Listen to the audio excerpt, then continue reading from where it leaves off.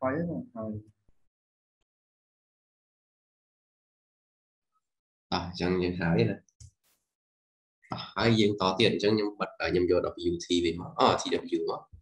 ហើយខ្ញុំ close អានេះអត់ត្រូវការចោលអញ្ចឹងខ្ញុំដាច់ select វិញមក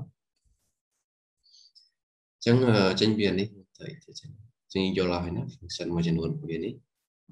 នេះអានេះអានេះអានេះអានេះអញ្ចឹងចេញវានេះយើងអូខេ អឺយើងចូល line វាម្ដងមានតែយើង edit grade វិញមានតែយើងគូសយើងគូសឲ្យយើងចង់ edit អញ្ចឹងឧទាហរណ៍ថាអ្នកចង់ edit grade ទាំងអស់ហ្នឹងអ្នកទាំងគ្នាចង់ edit ទាំងអស់ click លើមួយណាក៏បានខ្ញុំ click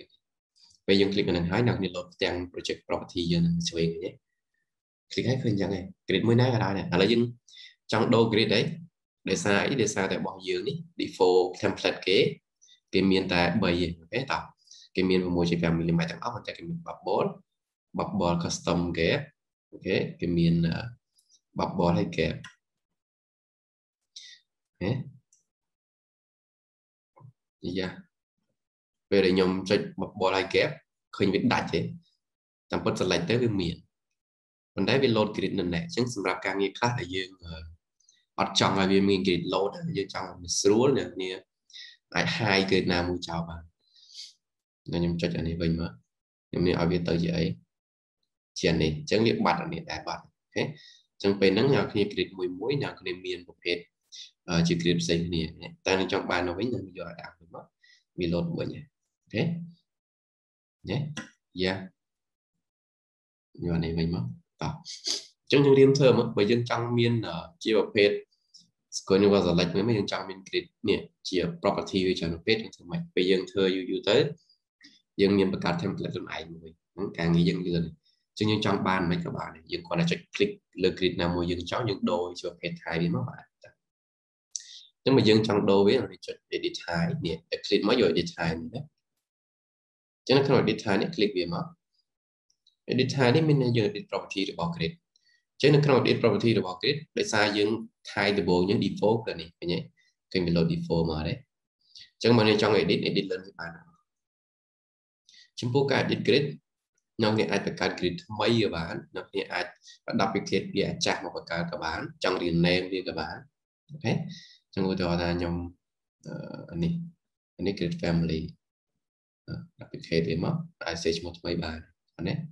ចង់ load វាក៏បានតែនេះអត់ load បានចឹងហេតុអី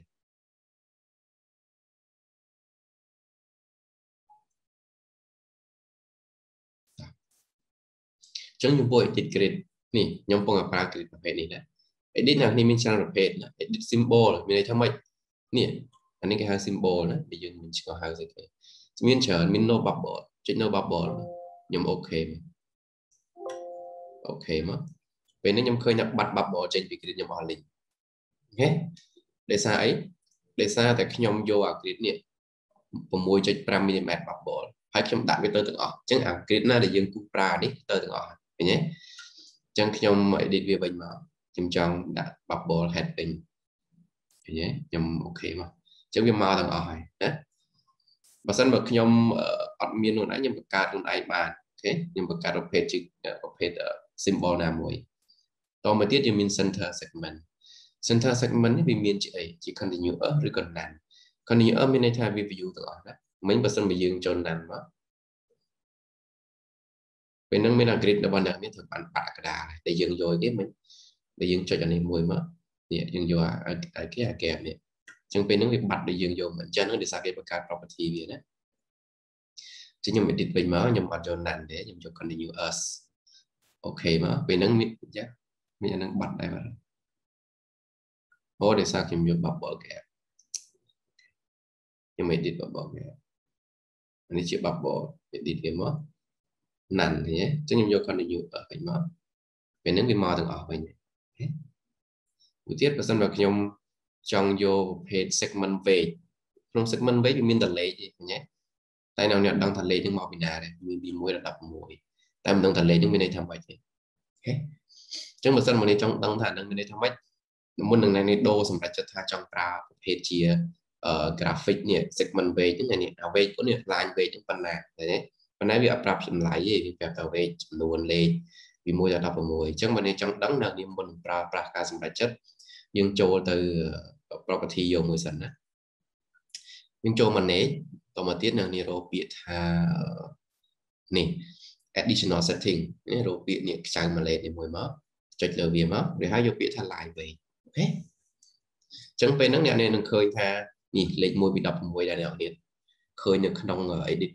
grid មិញវាមកក្នុងហ្នឹងអញ្ចឹងចង់ដឹងថាអាលេខ1នេះវាមានតម្លៃ line weight ប៉ុណ្ណាអ្នកនេះមើល okay អញ្ចឹងនៅក្នុង line weight មាន3ដែរមាន model line weight គឺជាអ្វីដែលយើង model នេះណា perspective line weight នេះខ្ញុំអត់ដឹងដែរប្រហែលជាប្រើនៅក្នុង architect ទេដឹង okay នៅនេះអាចស្រាវជ្រាវខ្លួនឯងបានអញ្ចឹងវាមានលេខ line 1ពី1ដល់16ដល់ពេល annotation នេះគឺយើងដាក់ annotation នៅក្នុង plug យើងនេះអញ្ចឹងចំពោះ annotation line weight គឺយើងមានលេខដូចគ្នាបើសិនមនុស្សចង់ដូរតម្រូវការងារ ស្រឡាញ់ប្រភេទណាយើងដូរលើក្នុងនឹងមកពេលដែលយើងរើសលេខនៅក្នុង edit ហ្នឹងវា automatic កំណត់ឲ្យយើងណាឧទាហរណ៍ពេលនេះខ្ញុំប្រើ model line weight អញ្ចឹង model line weight មានន័យថាវាស្រួលត្រង់ថាចំពោះ line វាប្រភេទទី1បើសិនបើប្លង់ខ្ញុំប្រើអឺ1លើ10អញ្ចឹង line weight ខ្ញុំ0.18មីលីម៉ែត្រប៉ុន្តែខ្ញុំត្រូវមើលសិនប្លង់ខ្ញុំប្រហែល1លើ100ឃើញទេ scale model ខ្ញុំ1លើ100អញ្ចឹងខ្ញុំប្រើប្រមាណនេះ ខ្ញុំយកប៉ុណ្ណឹងមកអញ្ចឹងវាមាន0.1អញ្ចឹងវាស្រួលយកអត់ចាំបាច់ទៅបារម្ភច្រើនដងទេមានន័យថា line ប្រភេទកំណត់ដាក់លេខ1នេះប្លង់ដែលយើងមានប្លង់ប្រភេទច្រើនប្លង់ scale ខុសគ្នាក៏វានឹងដូរអូតូម៉ាទិកឲ្យយើងហើយយកអត់ចាំបាច់បារម្ភទេណាអានឹងគឺវាស្រួលមែនតើអញ្ចឹងខ្ញុំអត់ដូរទេណាខ្ញុំដាក់មកប៉ុណ្ណឹងឧទាហរណ៍ថាខ្ញុំយក line ប្រភេទលេខ1ហ្នឹងអញ្ចឹងបើសិនបើ scale ខ្ញុំ1លើ100គឺកម្រាស់វា0.1មីលីម៉ែត្រនេះនេះ បើសិនមកខ្ញុំដូរ scale យក200ក៏0.1ដែរប៉ុន្តែបើ scale ខ្ញុំធំឃើញវាក្រាស់0.18មីលីម៉ែត្រក្រាស់ជាងមុនដែរអូខេចូលមើលកន្លែងហ្នឹងណាអញ្ចឹងខ្ញុំចូលមក select មកខ្ញុំចូល edit time មកនេះលេខ1មានន័យអញ្ចឹងឃើញទេឃើញ16ហ៎អញ្ចឹងខ្ញុំដឹងថាខ្ញុំដឹងឲ្យយកលេខ1ហ៎អឺតទៅទៀត color color អាស្រ័យលើយើងទេណាប៉ុន្តែជាទូទៅយើងយក color ណាដែលយើងមើលទៅកុំឲ្យវាជឹកភ្នែកចំពោះការងារ grid line ហ្នឹង មួយទៀតយើងមាននេះ n segment pattern ឃើញទេចឹង n segment pattern នេះស្អីគេពាក្យថា pattern ឃើញទេយើងគ្រាន់តែ click វាមកហើយយើងគ្រាន់តែដាក់ mouse វាប្រាប់យើងអញ្ចឹង pattern នេះគឺជា pattern របស់ line ឃើញទេអញ្ចឹងដោយសារឈ្មោះវា grid line ជាទូទៅ grid line គឺមាន grid អញ្ចឹងបើយើងបើយើងប្រើ AutoCAD យើងប្រកាសជាបង្កើតជា layer ឃើញទេ layer ដាក់ឈ្មោះខ្លួនឯងបើសិនបើជាទូទៅ default របស់ឈ្មោះ grid line គឺបែបនេះ grid line គេគំរូបែបនេះឃើញទេ ខ្ញុំមកខ្ញុំយកនេះអញ្ចឹងបើខ្ញុំចង់ដូរឈ្មោះផ្សេងឈ្មោះមានច្រើនឥឡូវខ្ញុំដូរ solid មកអូខេមកពេលហ្នឹង line របស់ខ្ញុំគឺត្រង់ទាំងអស់ឃើញទេខ្ញុំអាចកែអាច play ទៅលើ page grid line បានច្រើន edit មកខ្ញុំយកផ្សេងវិញខ្ញុំយកគេ center មកចេញស្អីគេអូចេញចេះមកអញ្ចឹងក្នុងនេះខ្ញុំមើលអត់ដឹងទេមានន័យថាខ្ញុំរាវហើយដោយសារខ្ញុំមានឈ្មោះឯងអញ្ចឹងខ្ញុំចង់ដឹងថាហ្នឹងវាមានរឹបរៀងយ៉ាងម៉េច តើខ្ញុំអាច edit លើអាហ្នឹងបានអត់អត់ទេអូខ្ញុំយក dot មកនេះវាចេញចេះមកហ៎អញ្ចឹងបើសិនមកយើងអត់អាច edit បានយើងពិបាកហើយអញ្ចឹងខ្ញុំ click មួយសិនមកខ្ញុំយក edit មកតាខ្ញុំយក grid line វិញណាជាទូទៅ grid line គឺ default ហើយ grid line មកអូខេអញ្ចឹងឧទាហរណ៍ខ្ញុំយក grid ប៉ុន្តែខ្ញុំឃើញថានេះ spacing រវាងនេះនេះខ្ញុំញឹកឬក៏ខ្ញុំចង់ដូរវាអំពើឬក៏ញឹកជាងហ្នឹងក៏នឹងអាចដូរបានដែរអូខេអញ្ចឹងអ្នកគ្នាចូលទៅ manage ធម្មតាដូចគ្នាដូចមុនណាវាយើងយកពាក្យថា additional setting នេះយើងយកពាក្យថា line pattern អញ្ចឹងអ្វីដែលនេះចង់កែគឺយកនៅ additional setting ទាំងអស់ឃើញទេ line style line pattern ណាខ្ញុំយក line pattern មកមិញនេះឈ្មោះខ្ញុំ grid line ឃើញទេនេះឈ្មោះដែលអ្នកនរមាននៅក្នុង edit time មិញគឺមាននៅក្នុងនឹងទាំងអស់អាហ្នឹងគឺជា thought របស់វាឥ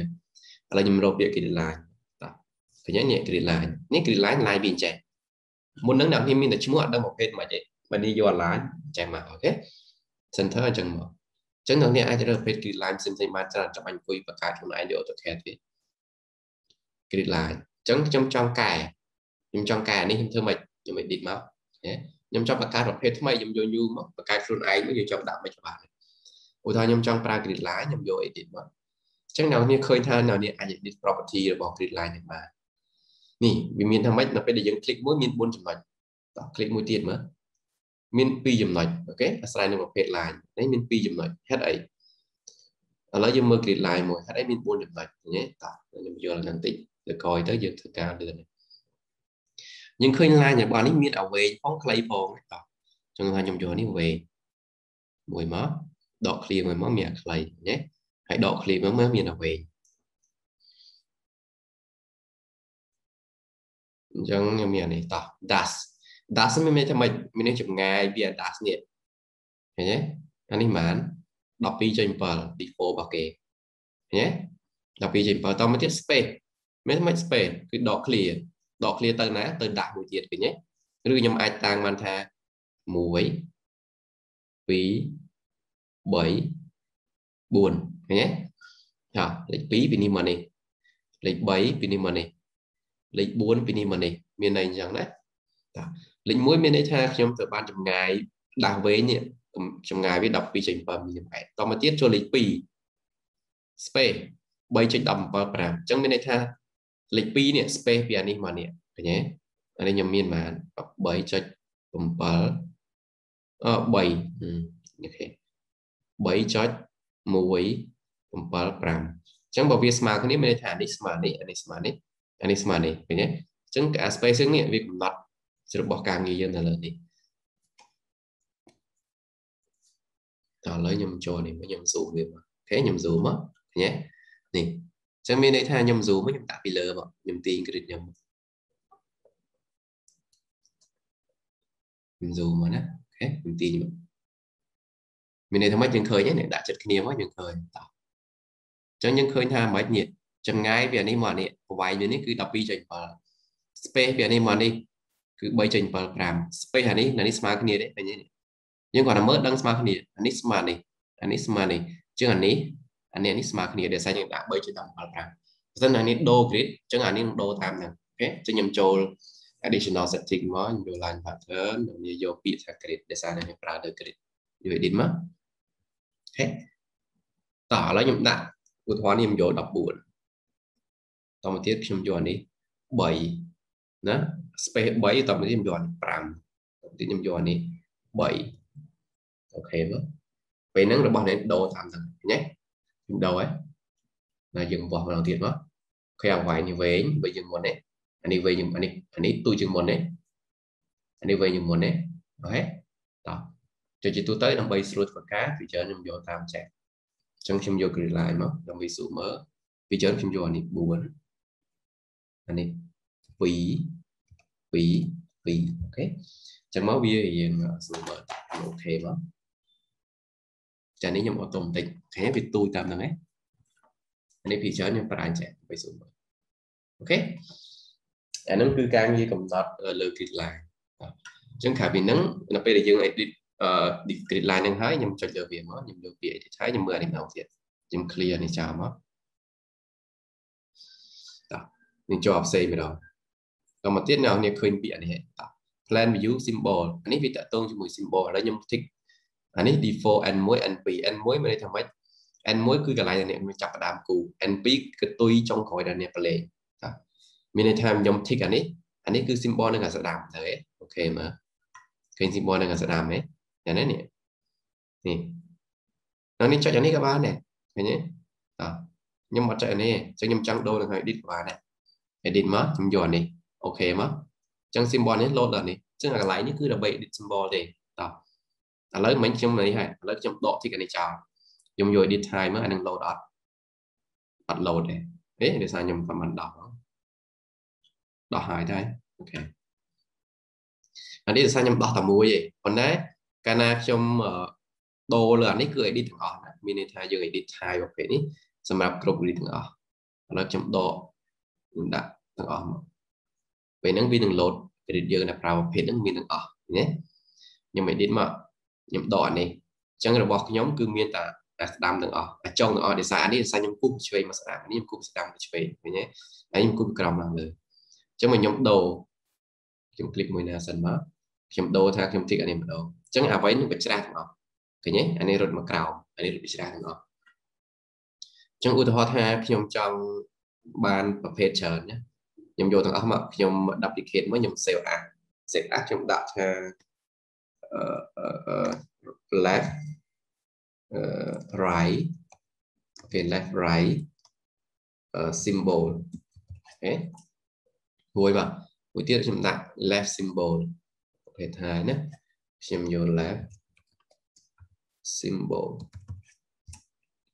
មួយទៀតខ្ញុំ duplicate ដែរប៉ុន្តែ ខ្ញុំច្រឡំនេះនេះ left នៅនេះណា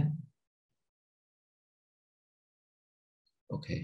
តាមនេះខ្ញុំ duplicate មកខ្ញុំយក right symbol okay ខ្ញុំ tick អានេះ header អញ្ចឹងខ្ញុំមាន left symbol អានេះខ្ញុំមាន left right ខ្ញុំមានទាំងពីរខ្ញុំមាន right មានតែនេះ okay ខ្ញុំ okay មកតោះអញ្ចឹងឧទាហរណ៍ grid នេះអា grid នេះខ្ញុំឲ្យវាឃើញខ្ញុំចង់ដូរប្រភេទវាបាទ ខ្ញុំដូរប្រភេទវាកើតអត់តោះណាខ្ញុំកាត់ហើយយ៉ាងនេះតោះអានេះខ្ញុំចង់ឲ្យវាមានទាំងពីរចុចមកមានទាំងពីរខ្ញុំចុច grid នេះមកតោះខ្ញុំចង់ឲ្យវាមាន left right ចឹងអញ្ចឹងវាលោតទាំងពីរឲ្យយើងអញ្ចឹងយើងស្រួលធ្វើការយើងបង្កើត depot ឡើងដែរមកអានេះអានេះខ្ញុំចង់ឲ្យវាមានតែ left ទេណាចឹងចំណុចចាប់ផ្ដើម left មានណាអានេះខ្ញុំចង់ឲ្យវាមានតែ right ខ្ញុំយក right មកអូខេអញ្ចឹងវាមានអត់អានេះសម្រាប់ការងារយើងណា មួយទៀតដែរចុងក្រោយសម្រាប់ edit ហើយយើងចូលអានេះ plan view នេះណាអានេះ non plan view មានន័យថាការងារសម្រាប់ admin plan view អញ្ចឹងផ្ទុយពី plan view គឺ elevation view ហ្នឹងឯងអញ្ចឹងឧទាហរណ៍ថាអ្នកនេះយកនេះ top អញ្ចឹងមានន័យថាខ្ញុំ view grid ខ្ញុំ view elevation មួយមកឃើញទេអញ្ចឹងមានន័យថានេះ grid line យើងសម្រាប់ elevation មានន័យថាម៉េច top ឃើញទេ view ឡើងមកលើអញ្ចឹងឧទាហរណ៍បើខ្ញុំ select អានឹងយក bottom ខ្ញុំអូខេមកអញ្ចឹងអានេះនៅ bottom ហើយ ណាមួយទៀតខ្ញុំ select edit មកខ្ញុំយកវាថា boss មានទាំងពីរហ៎អញ្ចឹងវាមិនទៅចាញ់ចឹងចុចច្រឡំនេះ top មកខ្ញុំចុចយក boss អូខេokay មកពេលហ្នឹងវាមានទាំងពីរលើក្រោមមកយើងតបបើខ្ញុំអត់ចង់វាបង្ហាញក៏បានខ្ញុំដក tick ចេញមកខ្ញុំយក none មក okay ចឹងអត់មានទាំងអស់ណាអញ្ចឹងខ្ញុំចង់បានជា template ខ្ញុំ save ខ្លួនឯងមកជាគំរូ typical វាដល់ខ្ញុំយក top ដែរ អឺ okay ចឹងថ្ងៃហ្នឹងមេរៀនចប់ត្រឹមហ្នឹងណាយើងរៀនពីការងារកែមួយចំនួនតទៅនឹង grid ជាអាទិត្យក្រោយយើងនឹងចូល modeling maintain យើងចាប់ដើមម្ដងតើមានសំណួរអីគឺយើងចាំអនុវត្តខ្លួនឯងតាមវីដេអូទៅក្រោយតើមានសំណួរអីបើអត់មានយើងសម្រាប់